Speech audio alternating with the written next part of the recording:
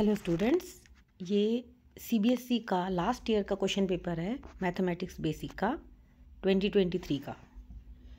Set one तो चलिए देखते हैं कि इसमें किस तरह से क्वेश्चंस पूछे गए हैं और आप सभी ने ये पेपर सॉल्व करके जाना है एग्ज़ाम से पहले. देखिए, इसका फ़र्स्ट क्वेश्चन ये बहुत ही कॉमन क्वेश्चन है और ऐसा कई बार आया हुआ है.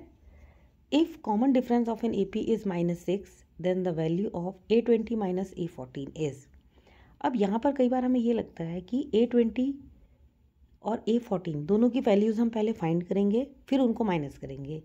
उसके लिए हमें ए चाहिए, क्योंकि ए एन का फॉर्मूला तभी लगेगा जब हमारे पास ए और डी है। अब इस क्वेश्चन में ए तो दिया नहीं है तो जनरली स्टूडेंट्स यहाँ पे कंफ्यूज हो जाते हैं कि ए के बिना हम इसको कैसे सॉल्व करेंगे। तो देखिए, इसमें आपने कुछ नहीं करना, बहुत ईजी है। आपने क्या करना है? A twenty minus A fourteen कीजिए। देखिए ए ट्वेंटी क्या होता है? ए प्लस नाइनटीन डी और ए फोर्टीन जो है, ये होता है ए प्लस थर्टीन डी अब हमें दोनों को माइनस करना है। तो A twenty minus A fourteen जब आप दोनों को माइनस करेंगे तो देखिए, ये ऊपर वाला टर्म है आप इसको ऐसे भी सॉल्व कर सकते हैं। यहाँ पर सिंपली माइनस कर लीजिए, देखिए। अगर इजीली करना है तो ऐसे कर लीजिए। माइनस करते हैं। देखिए ए से ए कट गया। इधर कितना आया? Nineteen D minus thirteen D nineteen minus thirteen sixty ठीक है? अब देखिए, इसका मतलब A twenty minus A fourteen करने पर हमें क्या आंसर मिल रहा है? सिक्सटी और डी की वैल्यू आपको गिवन है कितनी? Minus six. तो हमारा आंसर क्या हो गया? Six into minus six. तो कितना आ गया? Minus thirty six. तो यहाँ पे हमें ए की ज़रूरत नहीं पड़ी, क्योंकि ए अपने आप ही कैंसिल हो जाएगा जब हम माइनस करेंगे। तो ऐसा क्वेश्चन आता है कई बार। तो इसको ऐसे सॉल्व करेंगे आप। इसके बाद देखिए question number two. In the given figure, P A and P B are tangent to a circle. ये चैप्टर टेन का क्वेश्चन है। दो टेंजेंट्स आपको दिए गए हैं angle A P B is thirty degree then angle O A B आपको angle O A B निकालना है। कई बार हमें कुछ फॉर्मूलाज याद नहीं आते कि कैसे करेंगे। तो देखिए, बहुत इजी है। आप इसको पहले ओ और बी को ज्वाइन कर लीजिए। अब यहाँ पर देखिए, जो एंगल ए पी बी है, वो है थर्टी डिग्री ठीक है? अब हमें इस चैप्टर में एक प्रॉपर्टी है कि जो दो रेडियस के बीच में जो एंगल बनेगा मीन्स ये वाला एंगल ए ओ बी और एंगल ए पी बी ये दोनों का सम जो है वो कितना होगा? वन एट्टी डिग्री होगा। ये सप्लीमेंट्री होगा। ये क्वेश्चन भी है एक, एक पीछे बैक एक्सरसाइजेज में। तो इसका मतलब हमारा एंगल ए ओ बी इसकी वैल्यू कितनी आ जाएगी?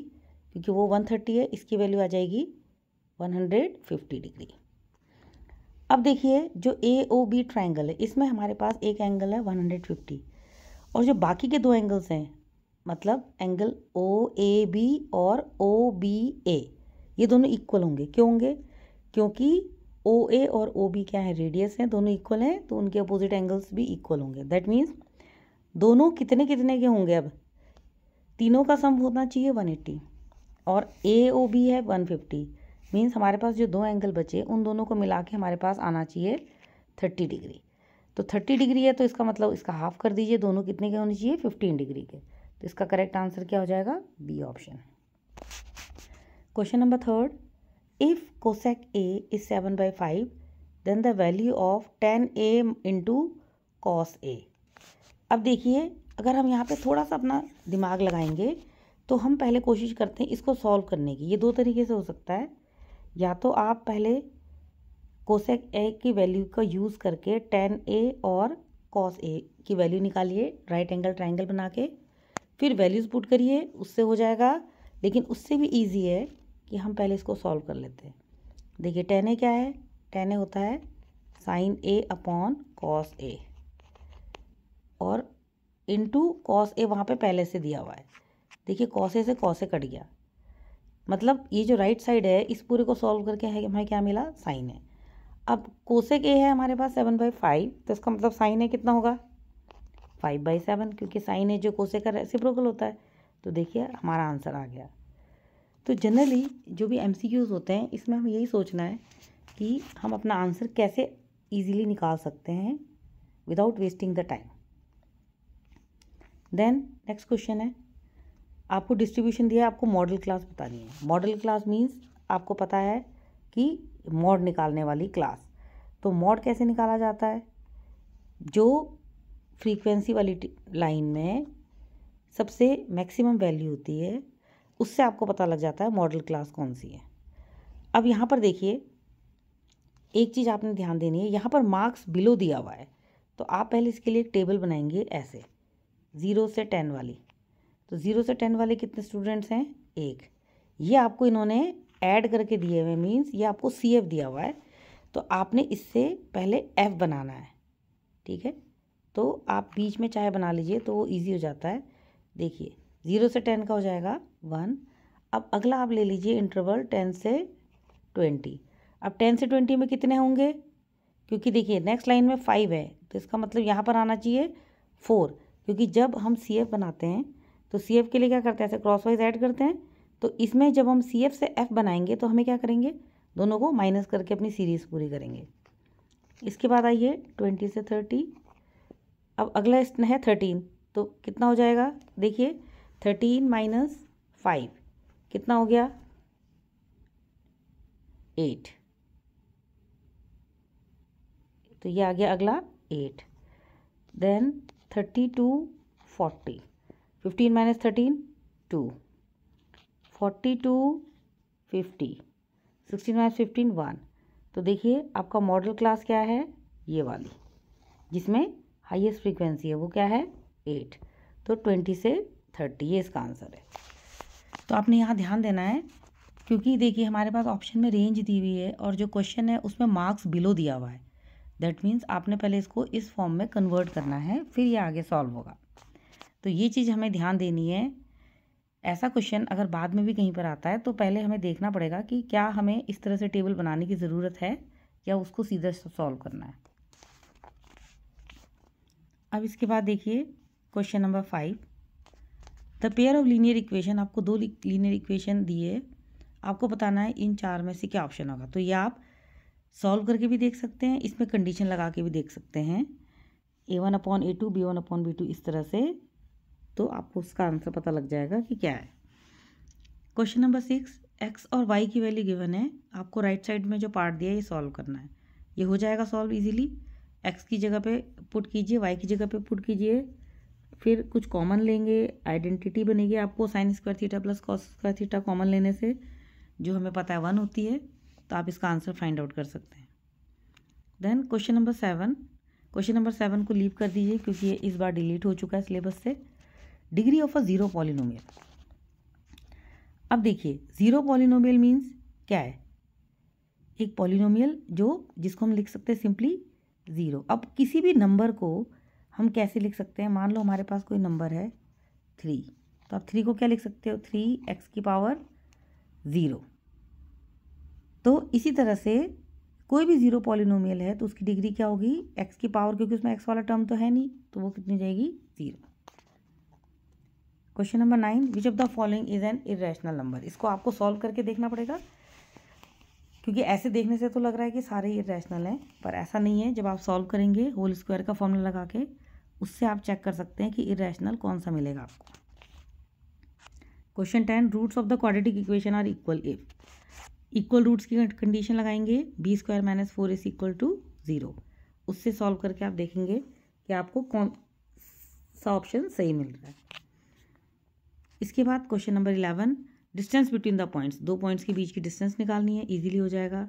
Question number twelve two cubes each of five centimetre edge are joint end to end ये आपका एन e का ही क्वेश्चन है। दो क्यूब से आपको ज्वाइन करना है तो जब हम ज्वाइन करेंगे तो क्या हो जाएगा? वो एक क्यूबॉइड बन जाएगा। तो उसकी लेंथ जो है वो क्या हो जाएगी? फाइव और फाइव ऐड हो जाएगी टेन ब्रेथ और हाइट हम फाइव सेंटीमीटर लेंगे। आपको उसका सरफेस एरिया निकालना है। तो क्यूबॉइड का सरफेस एरिया का फॉर्मूला यूज़ करेंगे इसमें। Question thirteen a die is rolled once एक डाई को रोल करेंगे, हमारे पास प्रोबेबिलिटी क्या आने की? वन से लेके सिक्स तक के नंबर्स आपको फाइंड करना है the probability that the obtain number is more than five अब मोर देन फाइव क्या है? सिक्स कितने नंबर्स हैं? एक ही नंबर है तो दैट मीन्स प्रोबेबिलिटी क्या हो जाएगी? One by six if the mean and mode of a distribution are this तो आपको मीडियन निकालना है। यूजिंग इम्पेरिकल फॉर्मूला इसमें वही फॉर्मूला यूज़ होगा जो आपकी एन e की बुक में दिया हुआ है। Mode is equal to three median minus two mean इससे आप सॉल्व करके मीडियन फाइंड आउट करेंगे। Now question number fifteen area of segment of a circle of radius R and central angle ninety area segment का formula आपको आता है sector minus triangle triangle का area क्या हो जाएगा? Half into base into height, यहाँ पर बेस और हाइट क्या लेंगे हम? दोनों ही आर होगा मीन्स हाफ़ आर स्क्वायर हो गया ट्राइंगल का एरिया और सेक्टर का एरिया क्या होगा हमारे पास? Pi R square theta upon three sixty theta कितना है? Ninety ninety upon three sixty cancel हो जाएगा फोर तो ये बन जाएगा pi R square upon four minus half R square means fifteen का C part quadratic polynomial having zero seven and zero is अब आपको बताना है, इनमें से कौन सा सा पॉलिनोमियल है जिसके ज़ीरोज़ सेवन और ज़ीरो है? तो आपके पास दो तरीके हैं। आप ये सेवन और ज़ीरो दोनों को अलग अलग एक्स की जगह पर पुट करके देखिए कि किसमें आपको दोनों केसेस में ज़ीरो मिल रहा है सॉल्व करके तो उससे आप पता लगा सकते हैं। क्वेश्चन नंबर सेवनटीन ये बीपीटी का क्वेश्चन है। डीई e जो है बीसी के पैरेलल आपको गिवन है। A D upon D B is two upon three आपको बताना है डीई अपॉन बी सी अब देखिए पीपीटी में क्या होता है? साइड्स के रेशियोज इक्वल होते हैं तो A D upon D B जितना है, उतना ही ए ई अपॉन ई सी भी होगा और D E upon B C भी होगा। That means two ratio three question number eighteen at some time of the day the height and length of the shadow of a man are equal तो sun का altitude बताना है। देखिए, बहुत easy question है। जब हमारे पास हाइट और लेंथ ऑफ़ द शेडो। एक मैन है, ये मैन की हाइट है एच और शेडो जो है लेंथ, उसकी क्या है? ये वाली। ये दोनों इक्वल हैं तो सन्स का एल्टीट्यूड क्या होगा? ऐसा कब होता है जब दोनों बराबर होते हैं? ऐसा तब होता है जब हमारे पास 45 डिग्री है, क्योंकि देखिए 1045 आप सॉल्व करोगे, दोनों इक्वल हैं तो वो वन आ जाएगा next question is assertion reasoning का है। Question nineteen, P A and P B are tangent to a circle centred at O and angle O P A O P A is given to you thirty degree तो आपको बताना है कि P A B equilateral triangle होगा या नहीं होगा। अब देखिए O P A thirty degree है। तो आप पहले ये देखेंगे कि ओ पी ए थर्टी है तो ओ पी बी ये कितना होगा? ये भी थर्टी हो जाएगा तो ये बन गया सिक्सटी अब देखिए, ये सिक्सटी है और ये दो इक्वल टेंजेंट्स हैं हमारे पास। देखिए, ये पूरा एंगल बन गया सिक्सटी डिग्री का। अब हमारे पास अगर ऐसे देखा जाए तो ओ ए एंड ओ बी ये दोनों क्या हैं? रेडियस और P A and P B क्या है? टेंजेंट है। अब पी ए और पी बी इक्वल हैं तो उनके अपोजिट एंगल्स भी इक्वल होंगे। दैट मीन्स ये जो एंगल है, ये एंगल और ये वाला एंगल ये दोनों इक्वल हो जाएँगे।